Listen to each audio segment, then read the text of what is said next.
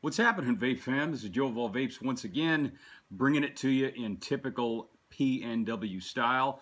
What, what's going on here? Looks like I got a little beard vape co that we're going to be talking about today as if uh, the shirt and the hat didn't give it away. If any of you guys out there have never tried beard vape co, then you're in for a treat. This is a really, really solid lineup that they've got. Um, five flavors that they sent me. They make six, I believe. You go on to uh, uh, LFNT Man is the website that they uh, sell all their wares at. Now, Beard has also done a collaboration with the Craft Vapory, and they've come out with a brand called the Essentials. And you can see that's their entire lineup. Their website is lfntman.com, and on that you're going to be able to buy anything from Poorhouse Vape, Super Strudel Beard Vape Co., of course, Punch E-Liquid, and of course the Essentials. Now I mentioned this because they sent me the entire uh, lineup, basically everything they have on the website. We're going to be reviewing that a little bit later on in time as we kind of move along. I wanted to start with Beard because Beard was the main company and uh, really, really good stuff. Really tasty flavors, and this is going to be a fun review. So we're going to start out uh, pretty simple here. First of all, they sent me some 15 milliliter bad boys. And um, this is uh, pretty much the brunt of most of the label, except for this one here which is in uh, you know white on black instead of the black on white. But it's a cloth label, which I think is pretty darn cool.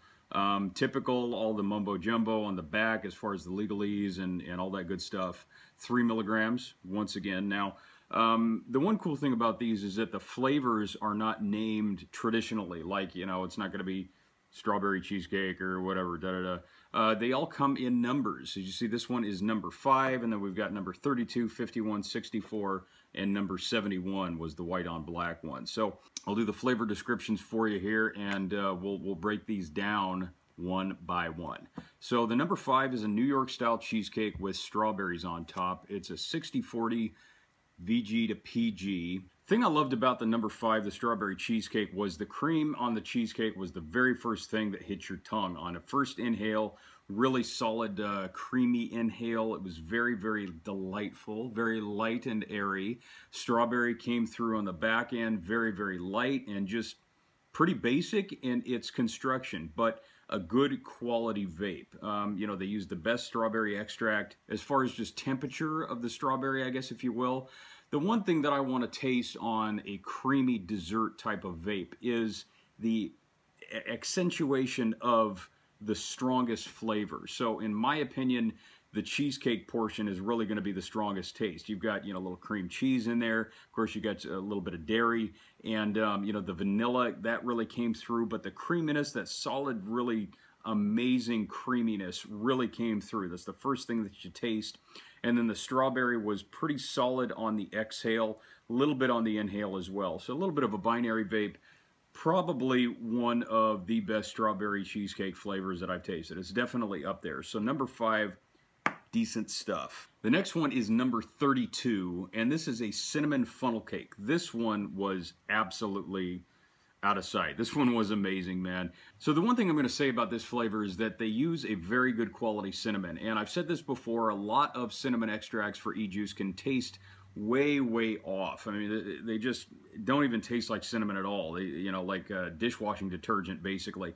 I don't know what it is. Maybe it's the, you know, just the overall quality of the extract that they use or certain amounts or, you know, they don't steep it enough. Who knows? But Beard definitely got it down on this one. It was cakey on the inhale and the, the cinnamon is more of just, um, it's really an even blend of a cinnamon sugar. So it's really, really sweet very, very light on the buttery flavor. I mean, we've all been to the carnival and see that giant little, um, you know, that little metal uh, pouring device that they, you know, they, they twist around the, uh, the batter ingredients and stuff like that in this cute little circle and then they flip it and then we're just salivating, waiting for them to dump all that cinnamon sugar on top, you know. Um, it, it, it's pretty darn reminiscent of that, save the seven bucks that you have to pay for the actual thing. But let me tell you something, with this, you can just keep on vaping it. So since this is pretty much my favorite, I dripped it, I sub-ohmed it, but dripping it is really a delight. So I'm going to uh, bust out a little bit of that on my dripper here. Got my 13 Heavens 9 Hells RDA. And we're going to give that a little whirl.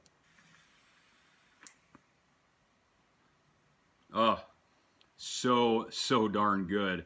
It's extremely mellow on the cakiness, but sweet enough. Between the cinnamon and the sugar, it comes out really, really solid. So really good blend, solid mixology. The uh, I, I think the cinnamon sugar comes a little bit stronger on the back end, especially on the exhale.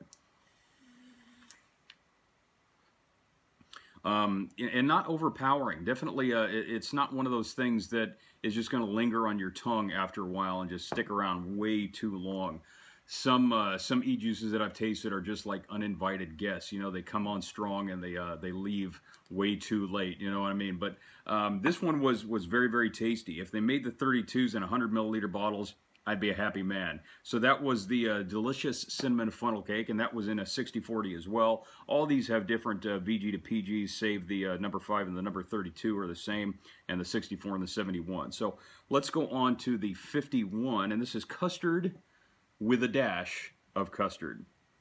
Now, if, any of you guys have uh, you know tasted a lot of custard vapes, here's the problem with a lot of custard vapes out on the market. There are so many of them, and if you find one that is even close within a smidge to actual custard, I mean, custard is very thick, very dense, very rich a little bit of vanilla, a little bit of cream, obviously, but it's the egg yolk that really makes a good custard.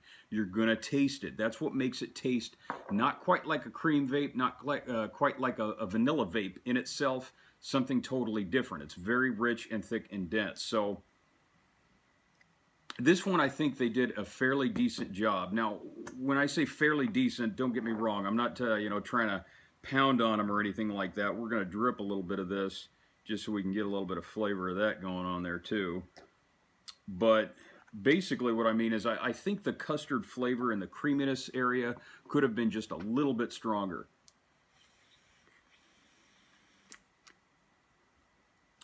But not by much. Not by much at all. It is very, very sweet. It's very sugary.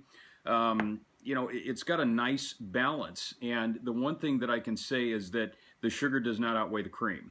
The cream is definitely evident and it's not too too rich and too too thick that it just kind of throws the balance off. This one's not going to stick with you like the you know like like I said with the other ones.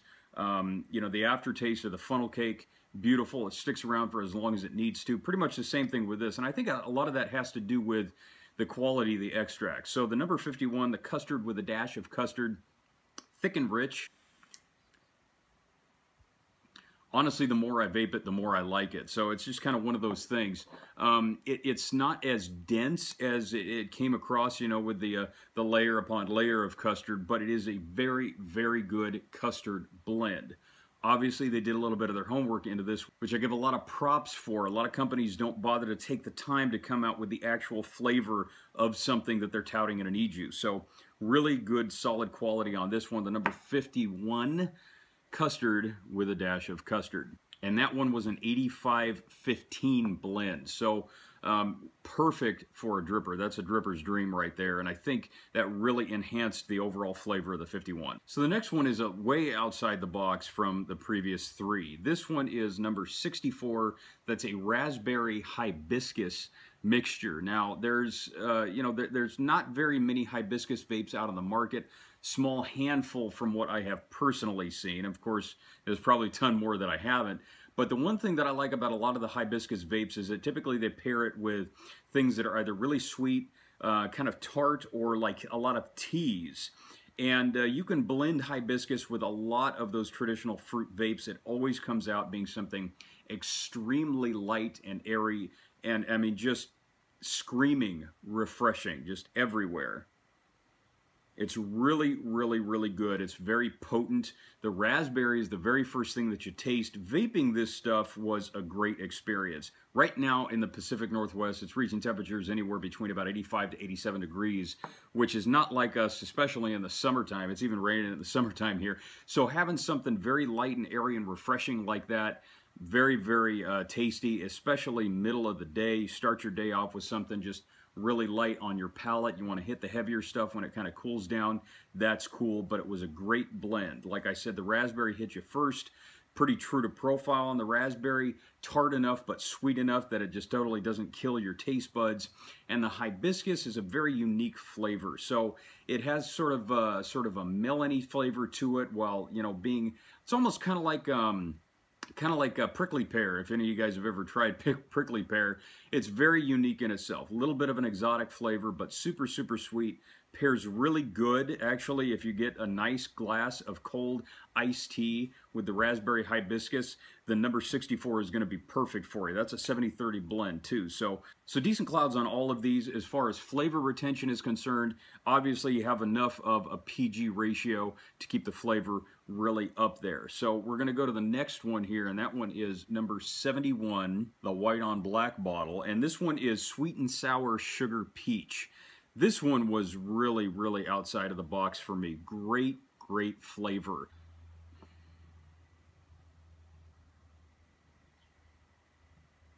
That's what I deal with.